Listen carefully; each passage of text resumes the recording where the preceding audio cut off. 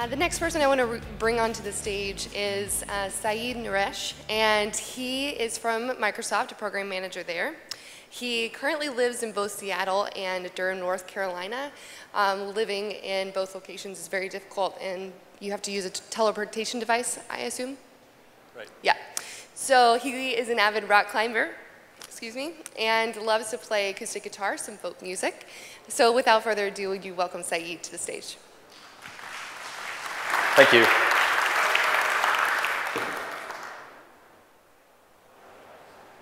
Well, my um, slides are going to be a lot more boring than Steve's were. There we go.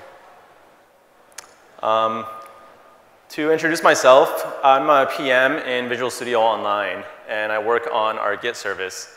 Um, and my entire purpose in life right now is to make Git scale for large teams. Um, and there's a variety of teams I mean, we, we work with a lot of external customers, but even within the company, there's a lot of teams that are migrating over to Git from whatever system they're currently on. There's a lot of them throughout the company.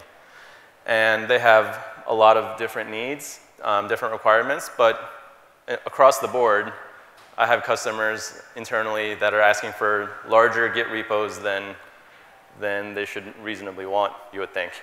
But, you know, we got to meet people where their needs are. Um, and you know, there's, there's teams that just have a lot of code, and we got to figure out how to make it so that you can have humongous code bases in Git and how to deal with thousands or tens of thousands of branches and those sorts of things.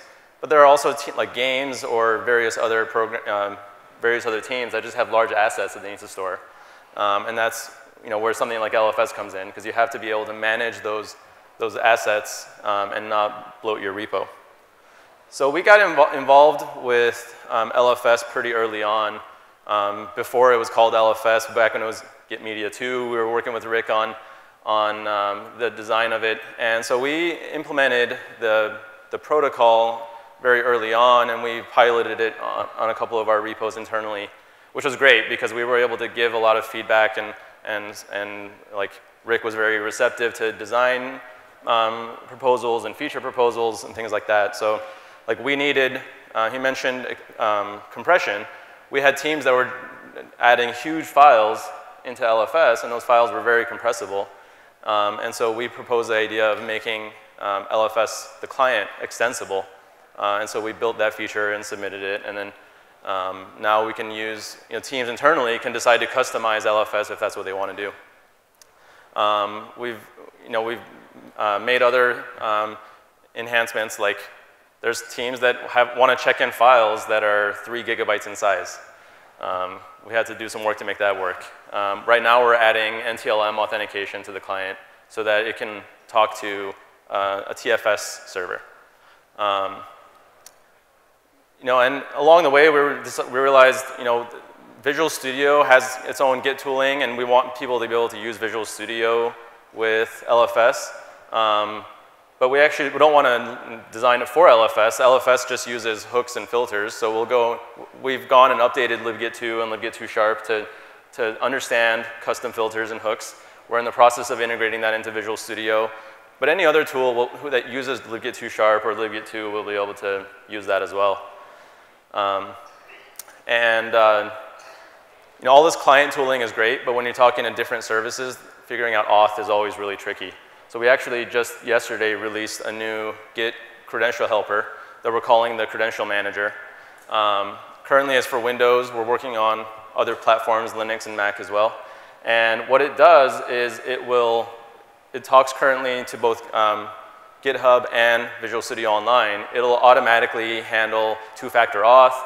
Um, it'll handle generating, a, like in VSO, it'll generate a personal access token and store it in your Windows credential store and um, pass that along to the service, and it's all transparent to the user. You just fetch or push, and it just works, um, which is really nice.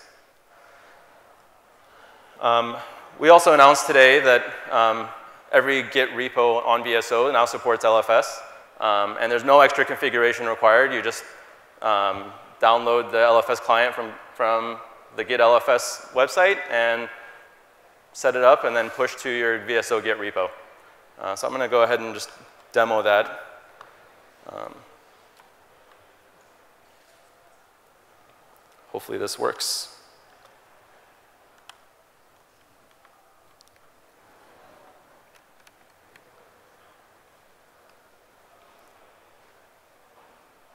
My video card has been having problems. Hopefully this connects.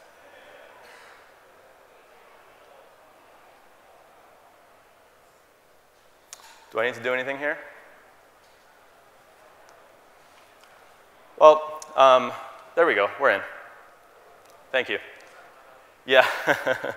so what I'm going to do is I'm going to go into, I just have my own personal VSO account here. Um, nothing special about it. I'm just going to go and create a brand new um, brand new Git repo. And um, as soon as it gets created, I'll take the URL of that and clone, clone that repo here. It's just an empty repo. I'm really, all I'm doing is setting up my, my remote.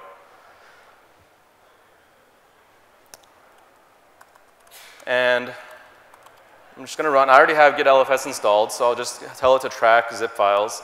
And Oh, I'm in the wrong one. It says it's already supported. Demo 2 is the one I just, um, just cloned here. So git LFS track, and I'm going to copy over a zip file that I have and add it.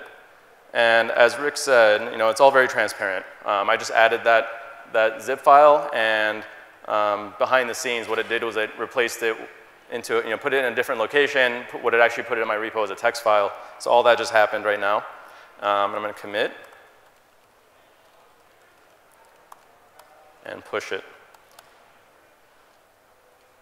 So now um, what it's going to do is it's going to talk to the um, LFS REST endpoint on VSO, push the, it's pushing up the large file first. It's a small file, but it's a zip file. Um, and then once it, once it succeeded in pushing that zip file, then it pushed the, the commit as normal. Um, and so that, there it is working with VSO. Um, so that's it. Thank you.